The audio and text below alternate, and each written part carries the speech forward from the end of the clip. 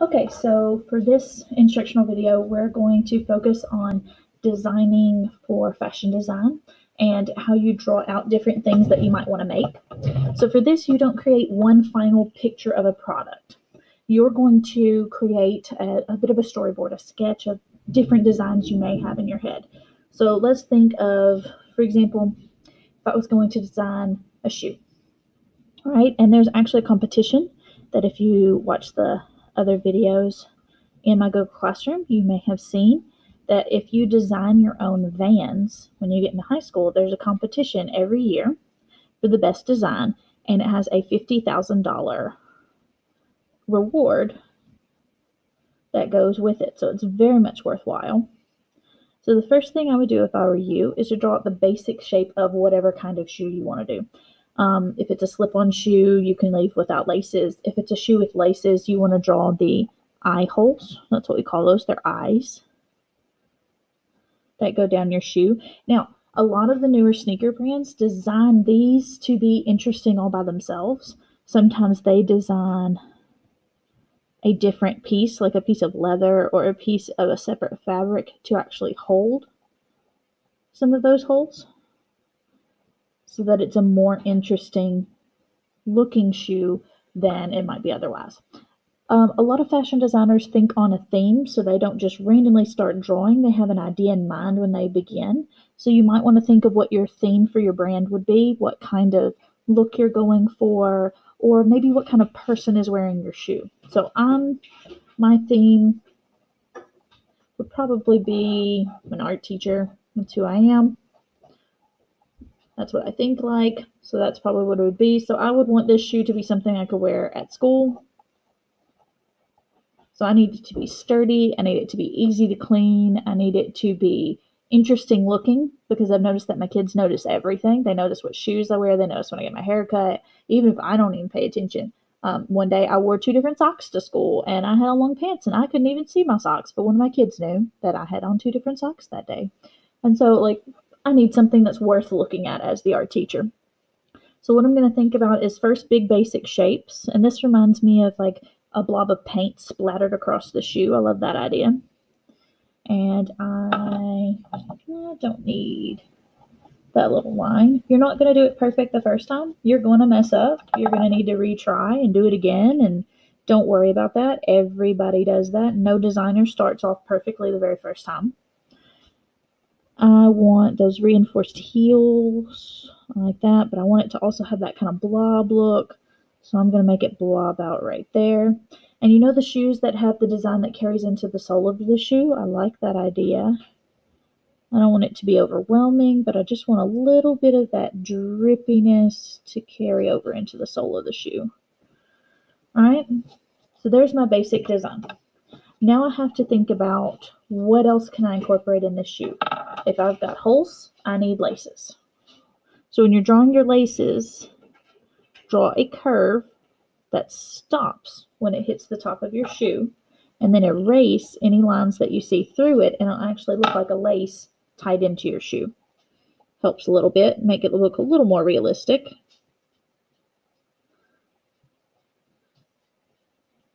If you want one of those shoes that has no ties, I know there's some shoes where they have the laces, but they don't actually tie at the top.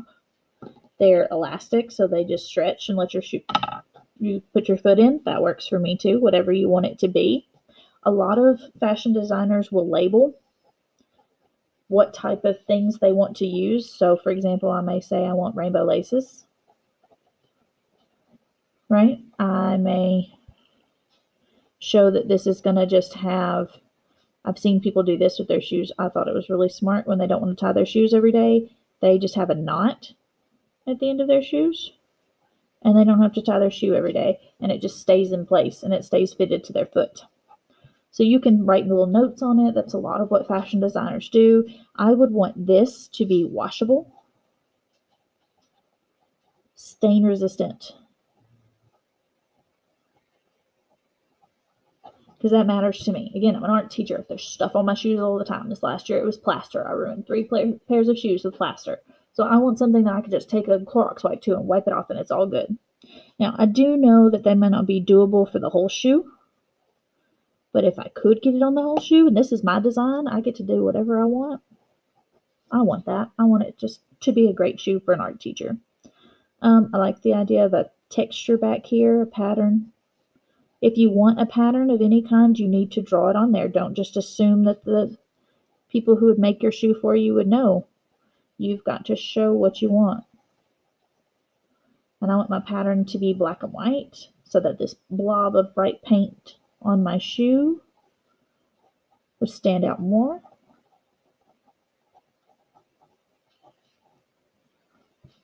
All right, so you've got to take notes in these sketches. You can't just draw a cute shoe, a cute bag, or a cute earring. You've got to plan out what you actually were thinking when you make these. Now, there's also the option of adding color to these. You don't have to. You could just take notes and tell me what color you would do if. But if you have a set of markers or of color pencils around and you want to add color to it, by all means have at it. So I have a few markers. And so I might come through here and there are two way, different ways that I've seen folks do this for, for fashion design. Sometimes they do like this and they'll draw a little circle and they'll make a little cutout and they'll do color samples. And they'll show you what they're thinking. And they may use markers, they may use watercolors, they may use anything to kind of give you that idea of what they want. And I layer my markers on top of each other so you can kind of see a blend in colors. So I didn't just have blue and purple, I have blue, blue, violet, and purple. And then I'm going to add a red, which will also make a red violet. Right? So I could show that I want this gradation of color in there. You can also just color directly on the shoe. Doesn't hurt anything.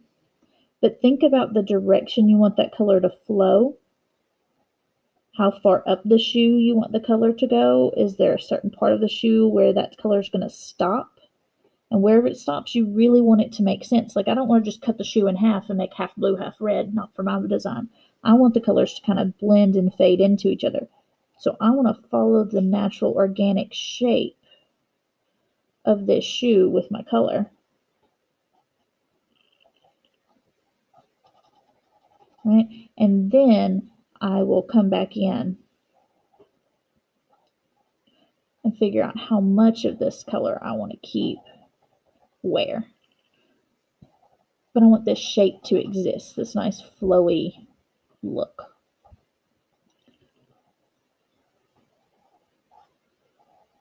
Now, I'm going to admit to you, I have never designed shoes before. This is not my thing. I'm an art teacher, I'm not a fashion designer. So you may look at my shoes at the end of this and go, oh my gosh, those are ugly. I would never wear those shoes. You know what? That's fine. Not everything you design is perfect the first time. So look at it, see if you need to adjust it, tweak it, change it, move it, and then you always can come up with a second design or a third design. This is not a finished product, it's a process. So you need to think about how to change, how to adjust. One of the skills of this career is to be able to take criticism. So you want to be able to deal with, okay, this didn't work. What do I do next? So always remember, you can just try again. Doesn't hurt anything. And then I'm going to add my last color here. Now, I don't love the blend I got there, so I'm not going to use too much of it, where I did like the blend on the blue and the purple. So I'm going to avoid that a little bit, but not overlapping as much. All right, so now I've got this nice fade on my shoes of color to color. All right, I like that. And what I've decided now is with this look, how I have the black and white back here, I want that same thing carried through the front of my shoes. I want that black and white fabric in the front of my shoes. So I just take notes. That's all you have to do. This is a sketch. It's a plan. So take notes explain what's happening because this is what real artists do. This is what real fashion designers do. It's not a perfect drawing every time, it's not absolutely finished every time. And I told you, you could submit these to programs like Vans and design your own shoes. Um, the people who win get prize money for themselves. Sometimes they get prize money for their art programs at their schools. I know there's, this is going to sound crazy, but there's scholarships. The duct tape brand has a scholarship every year. When you're a senior, you can participate and you make a prom dress out of duct tape.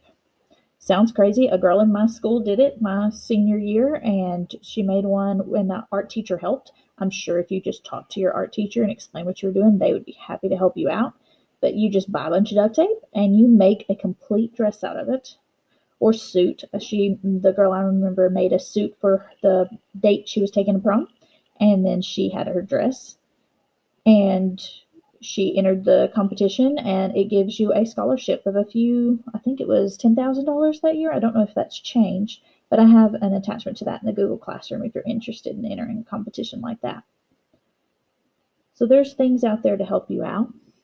All right, so if this is my finished design, this is what I want to do.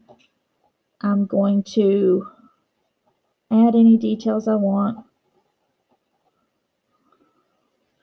Add any notes to help me remember what I was thinking. All right, and then that's done. And that's my design for my shoe. So you can come up with a shoe design, a purse, jewelry, clothes, fabric. If you're interested in drawing for um, like a full outfit, look at the figure drawing lessons that are also posted so that you can get an idea of how to draw the human figure before you try to put clothes on them.